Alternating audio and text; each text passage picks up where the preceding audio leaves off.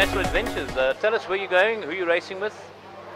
Yeah, this is uh, last race I'm racing here until I get back, but uh, I'll be going off to Spain. Uh, I leave on Friday, so I'm pretty excited. We're going doing a three-day test.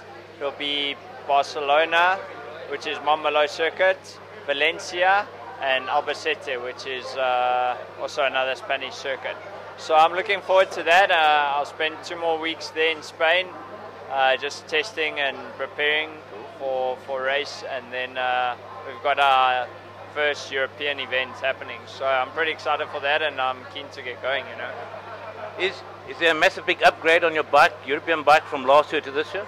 Yeah, I think there's a definite difference uh, to the bike. Uh, we got a 2015 Kalex, uh, one of the top bikes. So I think, obviously, I'm definitely one of the favourites this year to try and win that championship. But uh, let's see, you know, you never know what the other oaks bring out of the bag. I saw last year you had one or two wild rides in the in the Moto 2s in the, on the Moto, Moto 2 GP circuit. When those sort of things come your way, how late do you normally find out about it?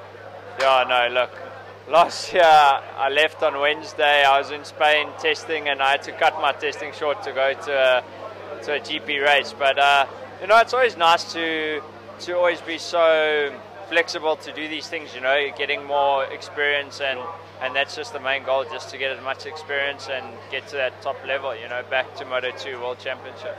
How often do you bump into other guys like Sheridan and uh, McFadden and all of them on the circuits when you over there racing in Spain? Do you ever meet up with them at all?